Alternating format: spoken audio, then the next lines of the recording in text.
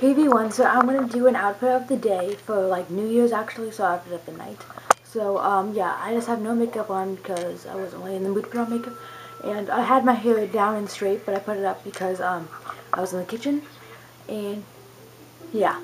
So first off I just have this um top that I got from Charlotte Russe and it's just like a little like tank top thing.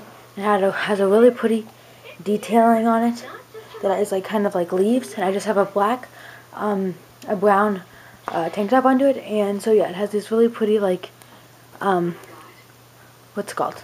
This like leaf design and it goes all the way to like right here and then the shirt cuts right here. So then I'm just wearing these blue jeans that I got and um, these are just from Hollister and yeah it kind of just like cuts up right there and then it's like simple and straight. And then for shoes, I have um, these shoes that I got.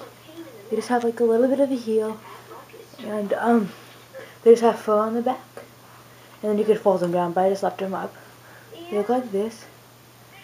And they kind of have a point at the bottom, but yeah. They just go up to like mid-thigh. I mean mid, mid ankle. So yeah. So that is my outfit of the day. I'm out for, uh, for New Eve, and I hope you guys like this video, and talk to you guys later. Goodbye.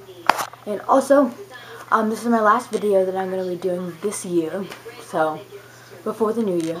So yeah, I'm going to be doing a lot more videos, like three a week, maybe.